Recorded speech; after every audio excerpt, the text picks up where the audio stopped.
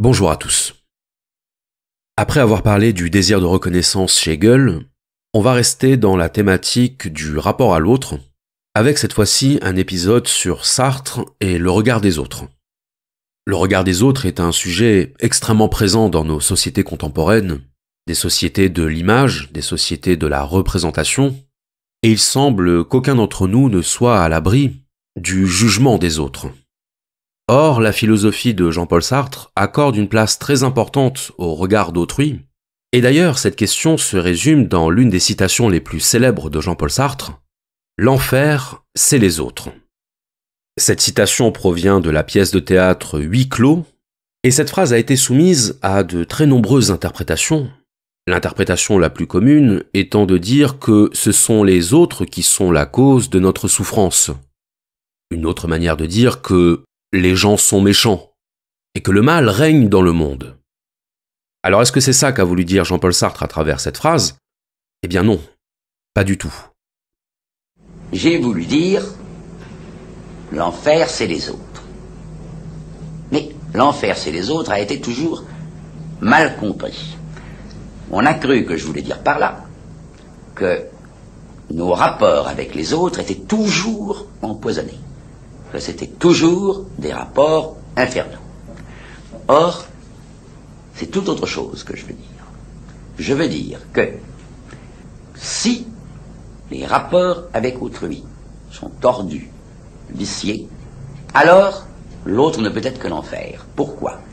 Parce que les autres sont au fond ce qui est de plus important en nous-mêmes pour notre propre connaissance de nous-mêmes. Ce qui veut dire que si mes rapports sont mauvais, je me mets dans la totale dépendance d'autrui, et alors, en effet, je suis en enfer. Et il existe une quantité de gens dans le monde qui sont en enfer parce qu'ils dépendent trop du jugement d'autrui. Alors, pour tenter d'expliciter cette phrase, on va explorer ensemble, dans cet épisode, la question du regard des autres, la question du jugement d'autrui, dans la philosophie de Jean-Paul Sartre. Alors avant d'entrer dans le vif du sujet, petit rappel sur Sartre.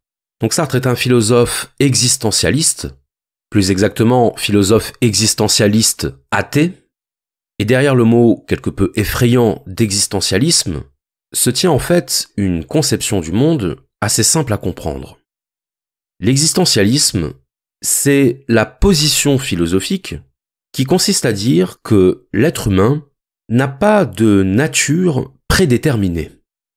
L'être humain n'a pas de nature prédéterminée, autrement dit, l'être humain est fondamentalement libre. Il est libre d'être ce qu'il choisit d'être. L'existentialisme, ça consiste à dire que, contrairement aux choses, contrairement aux objets inanimés, l'être humain n'est pas assigné n'est pas réduit à une nature, à une essence qui lui serait attribuée de l'extérieur. Alors, on va rendre ça un petit peu plus concret. On va prendre un exemple qui est l'exemple du téléphone. Un téléphone, c'est un objet qui a une nature prédéterminée. Le téléphone, parce qu'il est le produit d'une création humaine, parce qu'il est le produit d'une fabrication ayant un but, bien le téléphone, il se définit par sa fonction. Le téléphone se définit comme un appareil qui sert à communiquer à distance avec des personnes possédant cet objet. Donc ce qui veut dire que le téléphone, avant d'exister matériellement, avant d'exister entre vos mains, il a d'abord été pensé, il a d'abord été conçu puis fabriqué, et sa fabrication est dirigée vers le seul et unique but que le téléphone remplisse sa fonction. Parce que fabriquer un téléphone qui ne fonctionnerait pas, qui ne remplirait pas sa fonction, ça n'aurait aucun sens. Et on connaît le destin des objets qui ne remplissent plus leur fonction, ils finissent à la poubelle. Donc la raison d'être du téléphone, c'est sa fonction. C'est de servir à téléphoner. Ça paraît évident, mais maintenant si on pose la question à propos de l'être humain, et qu'on se demande quelle est la raison d'être de l'être humain, quelle est sa fonction, qu'est-ce qui justifie son existence, eh bien là, on est embarrassé. On est embarrassé parce que nous n'existons pas pour les mêmes raisons. Et pour Sartre, c'est même encore pire que ça. Pour Sartre, l'homme n'a aucune raison d'exister. Il n'a aucune raison d'exister tout simplement parce qu'il n'est pas le produit d'une conception. L'être humain n'a pas de raison d'être parce qu'il n'est pas le résultat d'un projet. D'un projet qui aurait une finalité. Et c'est là qu'on voit que l'athéisme de Sartre est un élément essentiel de sa philosophie. Parce que dans une vision théiste de l'univers, une vision dans laquelle les hommes ont été créés par Dieu, et à ce moment-là, on peut dire que l'existence humaine a un sens. Un sens prédéfini, un sens prédéterminé par Dieu. Et dans ce cas-là, il devient possible de dire que la fonction de l'être humain, c'est de réaliser la volonté divine. Mais Sartre, lui, ne s'inscrit absolument pas dans ce système de pensée. Pour Sartre, il n'y a pas de Dieu dans l'univers, il n'y a pas de créateur des êtres humains, ce qui veut dire que le sens de notre existence, c'est nous qui allons le construire. Il n'y a pas de Dieu pour nous indiquer la direction, il n'y a pas de sens préétabli à nos existences individuelles, et c'est ce qui fait que chacun va tenter, comme il le peut, de donner un sens à sa présence sur Terre. Donc Sartre établit une distinction très nette entre le règne des choses et le règne des personnes. Les personnes sont libres, les personnes n'ont pas de nature prédéfinie. On pourrait dire que la seule nature des hommes, c'est de construire eux-mêmes leur propre nature. Et donc l'existentialisme, ça consiste tout simplement à dire que, pour les êtres humains, l'existence précède l'essence. L'existence précède l'essence, autrement dit, nous existons et nous construisons notre essence. À l'inverse des choses qui, elles, sont d'abord conçues par rapport à leur fonction, par rapport à leur essence, et qui ensuite sont fabriquées c'est-à-dire sont amenés à exister. L'existentialisme, c'est la doctrine philosophique qui consiste à dire que l'être humain n'est prédéterminé par aucune autre essence que celle qu'il réalise à travers ses actes. Et donc ça, ça nous conduit à un nouveau concept de la philosophie sartrienne, qui est le concept de subjectivité. Pour Sartre, l'être humain est d'abord une subjectivité. Qu'est-ce que c'est qu'une subjectivité? Eh bien, c'est tout simplement un point de vue sur le monde. Une chose n'a pas de point de vue sur le monde. Tout simplement parce qu'elle n'a pas de capacité de perception. Et, a fortiori, elle n'a pas de conscience.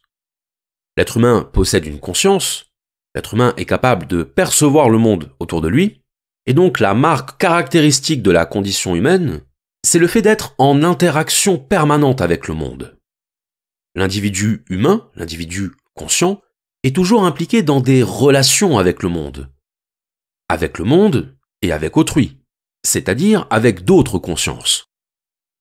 Donc ce qui fait la particularité de la condition humaine, c'est son rapport particulier au monde qui l'entoure. Le mode d'être de l'individu humain, c'est ce que Heidegger a appelé l'être au monde. L'être au monde, c'est-à-dire l'être en rapport avec le monde. Tandis que le mode d'être de la chose, c'est ce que Heidegger appelait l'être dans le monde. Une chose est dans le monde, mais elle n'est pas en interaction avec le monde, dans la mesure où elle ne peut pas échanger avec lui. Une chose peut être un support d'échange entre les êtres humains, on peut s'échanger des objets, on peut discuter à propos des objets, mais on ne peut pas échanger ou discuter avec un objet. Si vous préférez, une chose se moque totalement de nous, une chose est indifférente à nous. Alors que nous autres, êtres humains, nous ne sommes pas indifférents à ce que nous sommes les uns pour les autres. Et nous ne sommes pas non plus indifférents à ce que nous sommes pour nous-mêmes. En tant qu'êtres dotés d'une conscience, nous sommes en mesure de nous questionner sur nous-mêmes, de nous examiner nous-mêmes, de nous juger nous-mêmes. Et c'est ce qui fait dire à Sartre que seuls les êtres humains, seuls les individus conscients, sont dotés d'une existence. Puisque pour lui, l'existence, ce n'est pas seulement l'être, c'est l'être en conscience. C'est l'être en interaction avec le monde. Donc je n'existe pas comme existe une chose. Je n'existe pas comme existe une table, un vélo ou une paire de lunettes. J'existe comme conscience, c'est-à-dire comme point de vue sur le monde j'existe comme regard. Et quand je parlais de la distinction heideggerienne entre l'être au monde et l'être dans le monde, on pourrait même aller encore plus loin. À savoir que si je ne suis pas seulement dans le monde, c'est parce que je suis le monde. Je suis le monde que je perçois. je suis le monde que ma conscience fait exister. Et dire que je suis le monde, ça n'a rien d'une position mégalomaniaque. Ça ne veut pas dire que je suis le seul à exister dans le monde. Mais ça veut dire que, pour moi, à mon échelle, le monde, c'est ma conscience du monde. C'est ma perception du monde. C'est mon expérience du monde. Et vous pourrez retourner le problème dans tous les sens possibles. Le fait est qu'à l'arrivée, le seul monde que vous aurez expérimenté, c'est le monde que vous aurez perçu. Le film de votre vie, c'est le film de votre perception de votre vie. Et donc si on applique le même raisonnement à tous les êtres conscients, eh bien on peut dire que chaque conscience est un monde à part entière, puisque chaque conscience possède son propre point de vue sur le monde. Chaque conscience est un monde à part entière, et ces mondes s'entrecroisent et s'interpénètrent à l'occasion d'un phénomène que nous expérimentons tous quotidiennement, la rencontre. La rencontre avec autrui, c'est la rencontre avec une autre conscience. C'est la rencontre avec une autre subjectivité. La rencontre avec autrui, c'est la rencontre entre deux mondes. Et ça, selon Sartre, c'est ce qui va totalement bouleverser ma représentation de ma condition. Que se passe-t-il lorsque j'entre en interaction avec autrui? Lorsque j'interagis avec autrui, il se produit un phénomène très particulier, qui est que je ne suis plus seulement une conscience qui perçoit le monde. Je deviens l'objet d'une conscience autre que la mienne. Je deviens l'objet d'une conscience extérieure. Alors on va essayer d'expliquer ça de la manière la plus simple qui soit. Imaginons que vous vous baladez dans un parc et à un moment donné, au loin, vous apercevez quelqu'un. Quelqu'un qui marche dans votre direction. À ce moment-là, qu'est-ce qui va se passer? Bien, il va se passer que vous allez prendre conscience que vous n'êtes plus seul. Parce que dans votre monde surgit un nouvel élément, et cet élément n'est pas n'importe lequel, puisqu'il s'agit d'une autre conscience. Et maintenant, imaginons que vous vous rapprochez de cette personne, en même temps qu'elle se rapproche de vous, et que vos regards se croisent. Eh bien, au moment où vos regards se croisent, vous savez que vous êtes l'un pour l'autre un élément de vos mondes respectifs. Ce qui veut dire qu'en même temps que vous voyez l'autre, vous prenez conscience que vous êtes en même temps vu par l'autre. Et être vu par l'autre, ça veut dire que ce n'est plus votre conscience qui règne, Lorsque l'autre surgit devant moi, je fais l'expérience du décentrage de mon monde. Je ne suis plus le centre du monde, je deviens un élément du monde dont la conscience de l'autre est le centre. Et à partir du moment où vous apparaissez comme un objet pour une autre conscience, vous cessez d'exister comme subjectivité. Vous cessez d'exister comme conscience souveraine.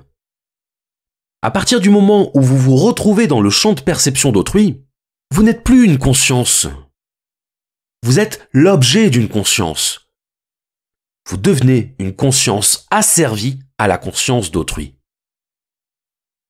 Dans le regard de l'autre, je ne suis plus une conscience. Je suis un élément de son décor. Je suis un élément de sa conscience. Ainsi, le regard de l'autre est comme un enlèvement le regard de l'autre, c'est un kidnapping. Par le simple fait qu'il me regarde, l'autre m'extrate de mon monde pour me placer dans son monde. Pour faire de moi un élément de sa subjectivité. En ce sens, tout regard fait de moi une chose. Tout regard est une réification. Tout regard est une objectivation. Tout regard est une réduction de ma conscience au statut d'objet pour une autre conscience. Alors je sais que ça peut paraître étrange de considérer les choses de cette manière-là, mais si vous êtes attentif à ce qui se passe dans votre interaction avec autrui, vous allez voir que ce que je viens de décrire n'est pas du tout aberrant. Évidemment, quand vous croisez le regard de quelqu'un, vous n'allez pas vous dire tout ça explicitement. Mais vous pourrez vous dire qu'effectivement, à ce moment-là, vous êtes l'objet d'une perception. Vous êtes vu du dehors. Et être vu du dehors, c'est être vu comme une chose. Parce que rappelez-vous que la seule partie de vous-même à laquelle vous n'avez pas accès, c'est votre dehors. C'est votre extériorité. Vous habitez votre corps, vous êtes donc en contact permanent avec votre intériorité, mais votre enveloppe corporelle, et en particulier votre visage, vos yeux, tout ça, ça ne vous est pas accessible. Et c'est ça le drame de l'altérité, c'est que sous un certain aspect, l'autre me connaît mieux que je ne me connais moi-même. Nous sommes les seuls à ne pas nous connaître de l'extérieur. Et c'est pourquoi se voir en vidéo ou entendre sa voix, ça provoque toujours une sensation étrange. La sensation que ce n'est pas nous. Et c'est pour ça qu'on peut dire que, sous le regard d'autrui, la situation nous échappe. La situation nous échappe puisque l'autre dispose d'un point de vue sur nous-mêmes que nous n'avons pas nous-mêmes. Ce qui est quand même le comble de l'ironie. Quand on se regarde dans un miroir, on sait que c'est nous, mais on ne se reconnaît pas. Y a-t-il quelqu'un qui m'est plus étranger que cette personne que je perçois dans le miroir? Alors oui, je me reconnais superficiellement. Je reconnais les traits de mon visage. Je reconnais ma morphologie. Mais dès lors que je me fixe dans les yeux, je cesse de me reconnaître. Car alors je deviens celui qui me regarde. Et c'est à ce moment-là que je comprends ce qui se passe dans ce déplacement de l'être pour soi à l'être pour autrui. L'être pour autrui, c'est-à-dire ce que je suis pour les autres. Et pour l'autre, je suis un objet. Quand je croise le regard de l'autre, je vois que je suis vu. Je me vois vu. Et vous voyez cette juxtaposition de la voix active et de la voix passive, voir et être vu, c'est ce qui décrit le mieux le mécanisme de mon rapport au monde. Je suis une conscience active, je suis mon propre monde, un monde dans lequel peuvent apparaître d'autres individus qui seront les objets de ma conscience. Mais je suis également et en même temps l'individu qui apparaît dans le monde d'autrui. Et c'est ce qui fait dire à Sartre que dans la rencontre avec l'autre, dans le regard de l'autre, je fais l'expérience de la réification. Je deviens une simple chose, et donc mon réflexe métaphysique premier, ça va être de me soustraire aux yeux d'autrui. Car autrui fait peser sur moi une pression d'être. Qu'est-ce que c'est une pression d'être? Eh bien c'est tout simplement le désir d'apparaître d'une certaine manière aux yeux de l'autre. C'est ce qui fait par exemple que quand vous allez croiser quelqu'un dans la rue, vous allez vous redresser. Vous allez rendre votre démarche plus assurée. Vous allez vouloir maîtriser votre image aux yeux d'autrui vous allez vouloir maîtriser l'objet que vous êtes pour la conscience de l'autre. Le regard de l'autre est toujours une pression exercée sur notre conscience. Parce que dès lors qu'un regard se pose sur nous, nous sommes en représentation. D'ailleurs, dans l'un de ses romans, La nausée, Sartre nous parle d'un personnage, M. Fasquelle, en écrivant à son propos Quand cet homme est seul, il s'endort. Et quand est-ce qu'on s'endort? Quand on est fatigué, certes, mais aussi quand on est apaisé, quand on est tranquillisé. Le regard de l'autre me met dans un état de non-tranquillité. Le regard de l'autre me met dans un état d'inquiétude. Et c'est pour ça que lorsque Sartre décrit notre relation à autrui, il l'évoque en termes de surgissement. L'autre, c'est celui qui surgit dans mon monde. Pourquoi les gens timides baissent-ils les yeux devant les autres? Parce qu'ils ne veulent pas rencontrer le regard qui les examine comme des objets. Que se passe-t-il lorsque quelqu'un vous dévisage? Il vous considère comme un objet. Il vous considère comme un pur dehors, comme une pure extériorité dont sa conscience pourrait disposer librement. Et la gêne, la honte ou la timidité traduisent le trouble de la conscience qui sait qu'elle est jugée par une autre conscience. Car dès lors qu'elle est jugée, la conscience cesse d'être une conscience. Elle n'est plus considérée comme une conscience. Elle est considérée comme un simple objet. L'objet de quoi? L'objet du jugement. Et en baissant les yeux, en détournant le regard, la personne timide crée l'illusion de ne plus être observée. Comme en fermant les yeux, on se donne l'impression que l'autre ne nous voit plus. Mais en réalité, on ne fait qu'ignorer le spectacle du jugement de l'autre sur nous-mêmes. Alors ici, ça va être le moment d'entrer dans le détail de ce processus de réification qui s'opère dans le regard d'autrui. Ça va être le moment d'expliquer en quoi le regard d'autrui me fige et ainsi m'empêche d'exister. Kant disait que la conscience de soi était en réalité une conscience indirecte de soi. Être conscient de soi, c'est adopter temporairement le point de vue d'une conscience extérieure à soi. Autrement dit, être conscient de soi, c'est se prendre comme objet de sa propre conscience. Il y a donc dans la conscience de soi un phénomène de dissociation.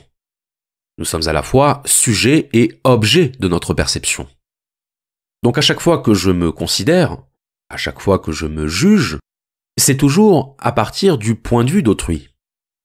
Même si cet autrui n'est que virtuel, même si cet autrui n'est pas physiquement là devant moi. Mais il n'empêche que je me projette dans un autrui virtuel à partir duquel je vais me considérer. C'est ce qui fait dire à Sartre que l'autre est un médiateur entre moi et moi. Et qu'est-ce que nous gagnons en nous transposant dans la conscience d'autrui En opérant ce décentrage de nous-mêmes? Eh bien nous gagnons l'accès à une dimension de nous qui nous échappe. Cette dimension, c'est notre extériorité. Le regard est le lieu du jugement, car le regard est le lieu d'une observation extérieure qui ne peut que réduire notre être fondamental. Et notre être fondamental, qu'est-ce que c'est? C'est notre subjectivité par laquelle nous sommes des êtres libres. C'est notre conscience ou, si vous préférez, notre monde intérieur, celui auquel je suis seul à avoir accès.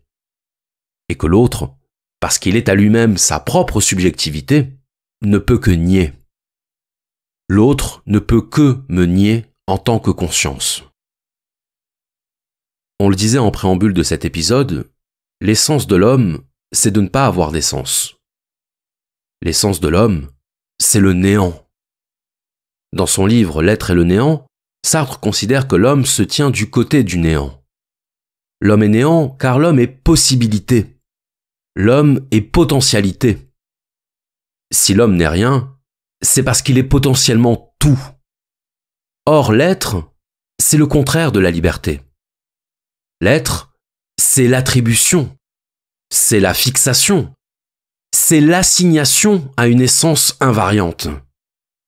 Sartre prend l'exemple du coupe-papier. Il dit bien que le coupe-papier est condamné à n'être qu'un coupe-papier. Il ne peut pas être autre chose. À l'inverse, l'homme est condamné à être libre. Il est condamné à être ce qu'il choisira d'être. C'est ça l'irréductibilité de la liberté humaine. L'impossibilité d'assigner à l'être humain une essence. L'impossibilité de figer l'être humain dans une essence. Or, que fait autrui quand il me regarde? Il me fige dans une essence. Et qu'est-ce que ça veut dire de dire que l'autre me fige dans une essence? Eh bien ça veut dire que parce que je suis l'objet de sa conscience, je ne suis plus une conscience pour lui.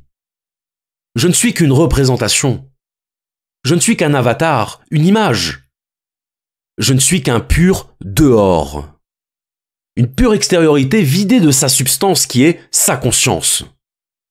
C'est ça qui se produit dans le regard d'autrui, la négation de ma substance. Et même si l'autre apprend à me connaître, si l'autre apprend à me connaître de manière intime, intime c'est-à-dire intérieure, je reste malgré tout fondamentalement irréductible à la représentation qu'il se fera de moi. Le regard d'autrui, c'est le regard qui me fige dans une essence à laquelle je suis irréductible. Une essence qui, quelle qu'elle soit, sera toujours trop étriquée pour ma conscience. Sera toujours une dénaturation de ce que je suis. Sera toujours une trahison de ce que je suis. Pour illustrer cette idée, on va faire une petite expérience. Je vais vous demander de penser à une personne que vous connaissez. Un de vos proches, un ami, ou à un collègue de travail. Maintenant, essayez de vous représenter cette personne visuellement. Donc là, vous pouvez la voir, vous pouvez voir les traits de son visage, la couleur de ses cheveux, la forme de son nez, de sa bouche. Vous avez un point de vue extérieur sur elle. Maintenant, je vais vous demander de penser à ce qui la caractérise psychologiquement, à son tempérament, à sa manière d'être, à ses réactions dans telle ou telle circonstance. Et à partir de là, je vais vous demander d'aller encore un peu plus loin. Je vais vous demander d'imaginer que vous êtes à sa place. Imaginez que vous êtes cette personne. Imaginez que vous vous trouvez plongé dans sa conscience. Vous voyez désormais le monde à travers ses yeux. Eh bien ma question est la suivante. Que ressentez-vous maintenant? À quoi pensez-vous maintenant? Que vit votre conscience là, maintenant? Vous n'en savez rien. Vous n'en savez rien parce qu'il vous est impossible de vivre à travers la conscience d'autrui. Vous n'en savez rien parce qu'il vous est impossible de vous approprier la conscience d'autrui. La conscience d'autrui vous échappe fondamentalement. Et c'est cette impossibilité de vous transplanter dans la conscience d'autrui qui explique l'écart fondamental et irréductible qu'il y aura toujours entre votre conscience et la conscience d'autrui. La conscience d'autrui est un donjon imprenable. Et donc à chaque fois que vous allez regarder l'autre, à chaque fois que vous allez juger l'autre, ce n'est pas l'autre que vous jugez. C'est votre représentation de ce qu'est l'autre. Parce que pour comprendre et saisir cette conscience qui est en face de vous, il faudrait que l'autre ne soit plus l'objet de votre conscience, mais le sujet de votre conscience. Pour saisir l'autre, il faudrait que vous soyez l'autre. Donc à la question que vit cette conscience qui se tient là devant moi, la réponse est je n'en sais rien. Et même si vous connaissez la personne, si vous êtes capable de deviner ses pensées ou ses sentiments, le fait est que vous ne pouvez pas aller au-delà de ce dehors qui se présente à vous. La réalité, c'est que nous sommes incapables de saisir l'autre dans tous les mouvements de sa conscience. Autrui me juge en permanence. Et en me jugeant, il se méprend sur mon compte. Il se méprend parce qu'il ne peut que se méprendre. Autrui, c'est la conscience sur laquelle je n'ai pas de contrôle. C'est la conscience à laquelle il m'est impossible d'avoir accès. Et vous connaissez cette célèbre question qu'on vous a tous déjà posée au moins une fois, le fameux à quoi tu penses? À quoi je pense?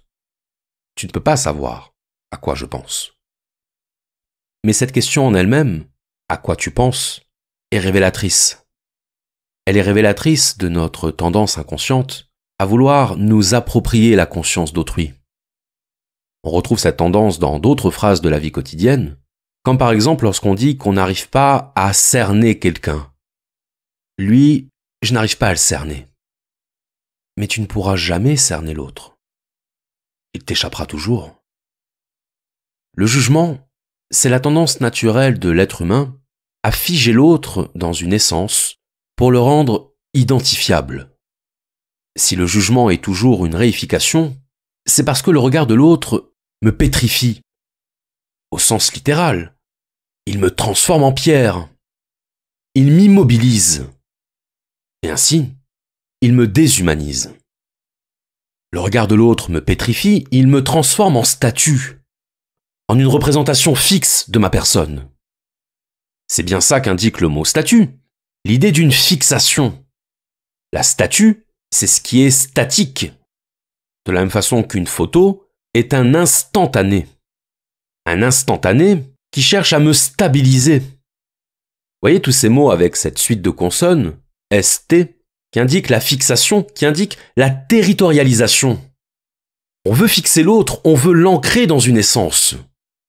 C'est ça la réification de la conscience de l'autre, c'est le désir d'identifier l'autre en le fixant dans une représentation. Pour ainsi pouvoir en faire un élément de notre décor et l'inclure dans notre cartographie. Mais il est fondamentalement vain de vouloir figer l'autre dans une essence. Parce que la conscience de l'autre n'est jamais figée. Elle est toujours en mouvement. Elle est toujours en train d'advenir. Elle est toujours fluide. Et remarquez que c'est exactement ce qui se produit en physique quantique, à savoir que l'observation fige le corps observé dans une position. L'idée étant qu'on ne peut pas mesurer le corps sans l'avoir figé, mais que, dès lors qu'on le fige, on le dénature. Mesurer du mouvant avec du statique, c'est exactement ce que Bergson reproche à l'esprit humain. Ce besoin de catégoriser, ce besoin de compartimenter, ce besoin de stopper le mouvement pour prétendre restituer le mouvement. Sauf que, pour Bergson, on ne restitue pas du mouvement en le figeant. On ne saisit pas un mouvement en niant son caractère mouvant. Et donc à chaque fois que je cherche à définir l'autre, à chaque fois que je cherche à l'identifier, à me le représenter, je fais de l'autre un objet, et ce faisant, je le dénature. L'homme n'a pas de nature, c'est l'autre qui nous donne une nature. Lorsque l'autre nous juge, il nous essentialise, il nous donne une essence. L'autre me fait être parce que l'autre a besoin que je sois pour pouvoir me juger. Et d'ailleurs observez la déception qui est la nôtre quand l'autre ne se conforme plus à l'image qu'on s'en était forgée. Quand l'autre ne se comporte plus de la manière dont on attendait qu'il se comporte. Quand l'autre exprime quelque chose qui sort du cadre de ce que nous avions projeté sur lui. Qu'est-ce qu'on dira à ce moment-là? Je me suis trompé sur lui. Oui, tu t'es trompé. Bien sûr que tu t'es trompé. À la seconde où tu l'as jugé, tu t'es trompé. Car l'erreur, ce n'est pas de l'avoir mal jugé. L'erreur, c'est de l'avoir jugé tout court. L'autre, c'est celui qui ne me connaît pas, c'est celui qui est dans l'impossibilité fondamentale de savoir ce que je suis. Et en même temps, c'est celui qui me juge. C'est celui qui m'invente. Et quand on veut savoir ce que pense l'autre, on veut savoir en particulier ce qu'il pense de nous. On veut savoir quelle image de nous il a créé Quel objet nous sommes pour sa conscience. Alors on va se poser tout un tas de questions. Que se dit l'autre quand il me voit? Que pense-t-il de moi? Que fait-il de moi? Que fait-il de moi dans sa conscience? Ainsi on veut maîtriser le jugement d'autrui sur nous-mêmes, parce qu'on veut maîtriser la part de nous-mêmes que l'autre extrade dans sa conscience. Et se demander comment l'autre me voit, c'est vouloir maîtriser le jugement d'autrui sur nous-mêmes. C'est désirer maîtriser ce que l'autre fait de nous dans sa conscience. Comme une sorte de droit de propriété sur notre être, sur lequel on va avoir un droit de regard. Littéralement. Et c'est d'ailleurs ce qui fait qu'on déteste que les autres se trompent sur nous.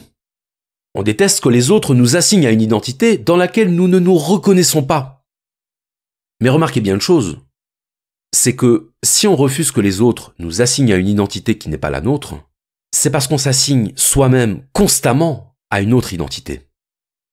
Autrement dit, on refuse que l'autre nous fige, mais nous-mêmes, nous nous figeons en permanence. Quand on parle de soi, on se définit, on se caractérise, on s'attribue des qualités, des défauts.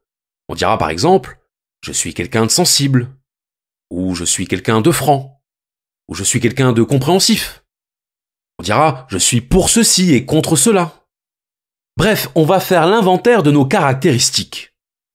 On va répertorier nos qualités et nos défauts pour rectifier le faux jugement d'autrui sur soi et pour le remplacer par notre jugement sur soi. Mais en faisant ça, est-ce qu'on rétablit la vérité sur nous-mêmes? Pour Sartre, la réponse est claire. Non. On ne rétablit pas la vérité sur nous-mêmes en remplaçant le jugement d'autrui par notre propre jugement. Parce qu'alors on reste dans la logique du jugement. On reste donc dans la logique de la réification. On ne rétablit pas la vérité sur nous-mêmes en remplaçant une fixation par une autre fixation. On rétablit la vérité sur nous-mêmes en faisant sauter toutes les fixations. C'est ça, la vérité fondamentale de l'être humain. Et ça, ça nous gêne. Ça nous gêne parce que, sans fixation, sans assignation, nous sommes perdus.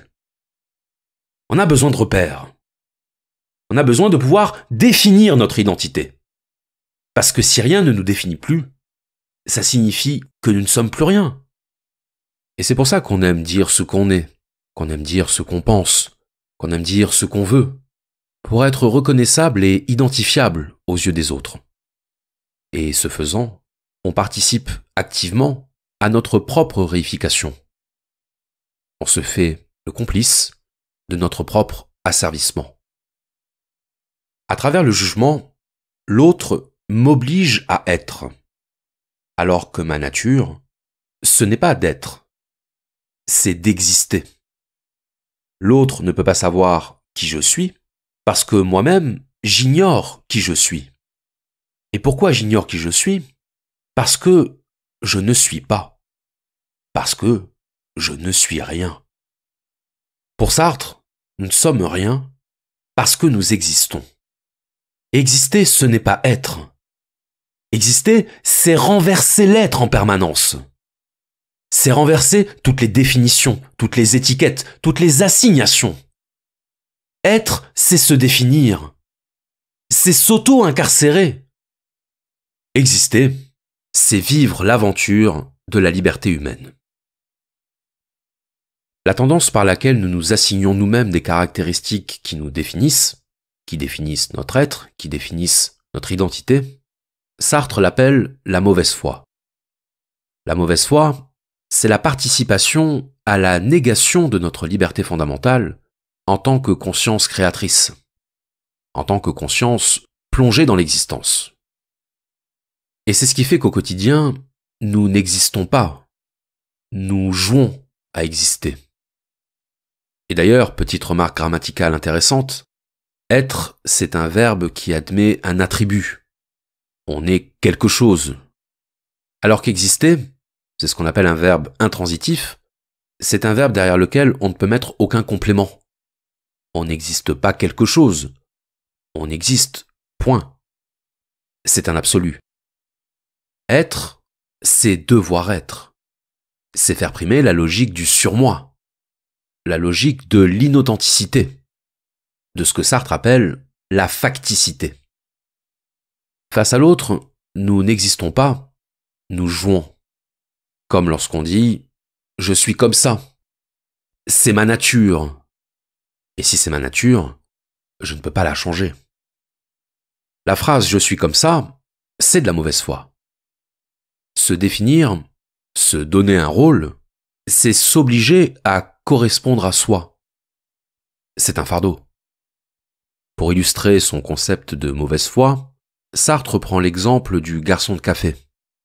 Le garçon de café, c'est celui qui joue à être garçon de café, au point de se convaincre qu'il est un garçon de café. Et puis, quand il rentre chez lui, après le service, le garçon de café jouera à être mari, il jouera à être père, il jouera à tout ce qu'il voudra du moment qu'il endossera un rôle. On peut sortir d'un rôle, mais on ne sort jamais du rôle. On ne fait que passer d'un rôle à un autre. Et parce que nous jouons un rôle, parce que nous jouons des rôles, nous sommes en perpétuelle représentation. Représentation à soi, représentation aux autres. Tel est le paradoxe de la condition humaine que nous ne croyons jamais autant exister que lorsque nous jouons à être. Il est ironique qu'un des philosophes ayant le plus affiché son athéisme soit principalement connu pour une phrase dans laquelle il évoque l'enfer. L'enfer, c'est le prix de la culpabilité. Et on a eu l'occasion de parler dans un autre épisode de la faute d'Adam et Ève. Une faute qui les a conduits à expérimenter directement les lois de la matière, les lois de la souffrance et du temps, les lois de la culpabilité. Dans la mythologie égyptienne, la pesée des cœurs, qu'on pourrait assimiler à la pesée des âmes, c'est l'examen de conscience du défunt au cours duquel on évalue le poids de sa culpabilité. Si le cœur du défunt est plus léger que la plume de mat, on accorde au défunt le statut de bienheureux. On lui donne l'accès à la vie éternelle, mais si son cœur pèse plus lourd que cette plume, le défunt est englouti par le monstre Hamout, la grande dévoreuse. Maintenant, supposez que l'enfer, c'est la mauvaise conscience, c'est la conscience lourde, et que le paradis, c'est la bonne conscience, c'est l'âme légère. À chaque fois que nous sommes sous l'emprise du jugement d'autrui, à chaque fois que nous nous soumettons au procès que l'autre nous livre en permanence, nous sommes en enfer. Au contraire, à chaque fois que je m'émancipe du regard d'autrui, à chaque fois que je choisis la liberté de l'existence au lieu de la pétrification de l'être, du rôle, de l'image, j'accède au paradis. Peut-être sommes-nous en enfer à l'heure où je parle. Peut-être l'enfer n'est-il que l'autre nom du poids de notre conscience aliénée, de notre enfermement dans le monde de la représentation, de notre peur. Peut-être sommes-nous les créateurs de notre enfer sur Terre, de ce monde de ténèbres et de souffrances qu'on ne détruit pas en le combattant, mais en l'inondant de notre lumière. Je vous remercie.